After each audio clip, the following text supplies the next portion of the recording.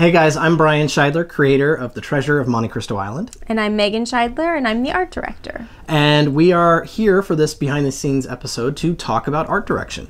So, Megan, the the style of The Treasure of Montecristo Island um, at the end of version 1.0, it, it didn't exist. Um, the theme was completely different from where it, it eventually arrived to. So, when we decided on kind of the the treasure of Montecristo as opposed to the kind of uh, tropical island feel that I had started with. How did that direct you stylistically? Well, um, so Brian gave me this basically a skeleton of the game, and I took that and put uh, design into it. I guess you could say we decided on doing kind of an old world map feel for the game and um, deciding what that would look like and pulling elements and ideas um, for the map was was my job.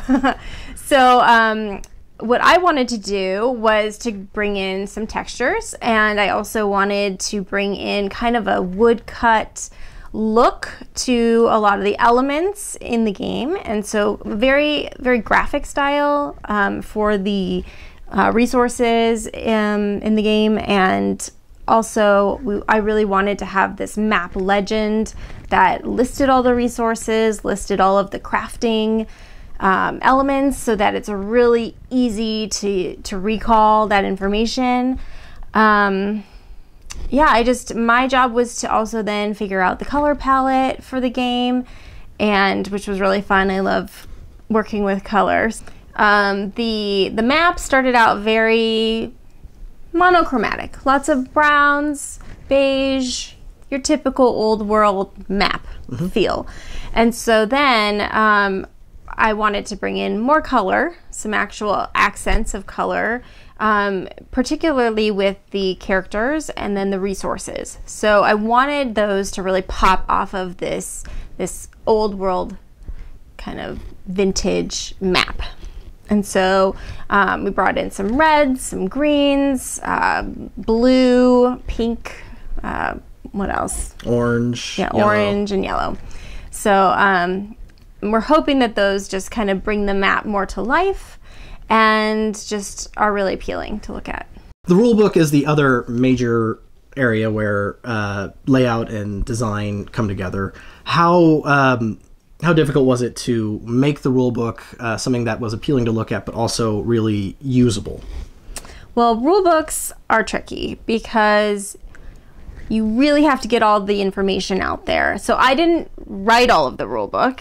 I helped edit the rulebook, but I didn't write all the text. But um, I wanted to really present the information in ways that was really really quick referencing, really easy to follow, um, definitely uh, very, you know, visually grabbing. You can see all the elements there. You can see all the pictures.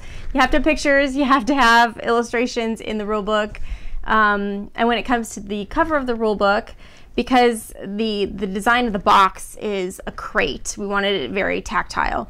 And then I also wanted the the rule books to look like they were also, you know, really about that same era and they maybe were on the ship and it was just something that the crew found and threw in the crate, you know, something that kind of fit with the whole theme. Um, but I, I really do like working with layout and, and text. So um, that was something that I could tinker with and just work on my own and then show everyone what I did and tinker some more and, you know. Yeah. Uh, last question. What was your favorite uh, thing that you got to be uh, uh working on?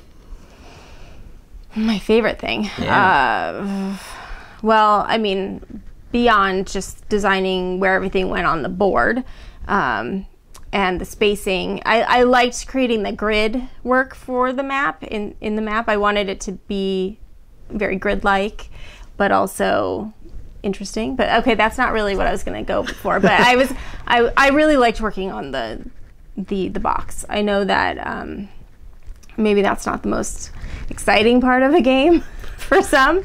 Some people just toss the box, but don't toss the box. that's my favorite part. Um, no, I really enjoyed um, creating this this crate, and I really liked working on the back. Again, that's just layout of all the pieces and showing everyone what's inside the box. Um, I really liked working on the back side of the boxes, both the you know base game and the expansion.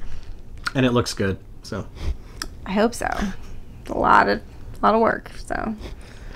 Well, there you go. That is just a, a quick look at uh, some of the uh, everything that went into the artistic design. Yeah, so I did a lot of the layout, got it all ready, and then you'll meet Brian Carroll. He's the illustrator that we brought on, and he took everything up to the next level. So, Yeah. really happy.